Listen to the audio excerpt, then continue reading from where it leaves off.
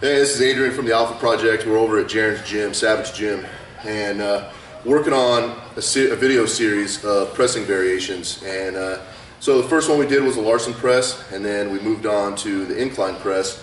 Kind of, you can go back and review the video on how you incorporate those into your training. And today we're going to work on uh, rest pause press. And the benefit, well, let's start with how you set this up.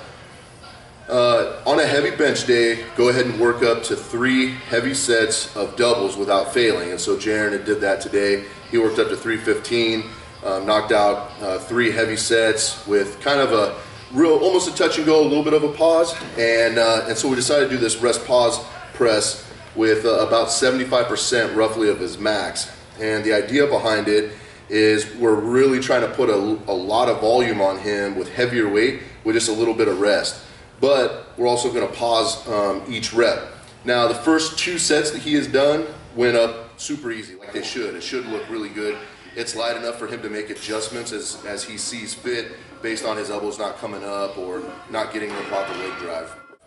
As the sets progressed into set three, four, and five, you could tell the bar was starting to slow down. The, having the pause press off of his chest was um, was kind of hindering him. So we were, we are at that 70% mark, 75% mark, and we're working on off our chest, slamming it up for doubles, five sets of that, and uh, we're taking roughly about a 15 to 20 second rest in between each set.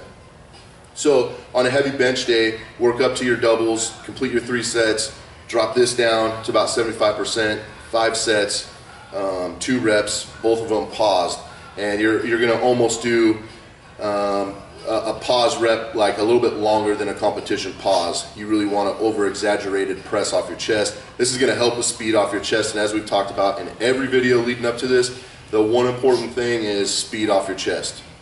Jaren, what'd you think about it? Oh, it sucked. Felt good. It was nice to have a weight that was controllable.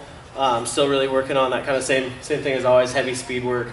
Um, that way there is actually some carry over to your competition bench because sitting and knocking out reps with 50, 60% could pretty much do that hungover. And I've end up, I've hurt myself doing it that way. The day that we made a joke about pressing too light, I pressed too light trying to coach somebody and did it too fast and ended up straining my pec and was out for a couple weeks. So I'm um, really just trying to keep the volume controllable and, and shift it to where I'm only doing heavier work um, and just kind of having variations of heavy um, has been something that's helped quite a bit. So, yeah, felt good. It was awesome. tough. Yeah, make sure you guys train harder, smarter, not harder.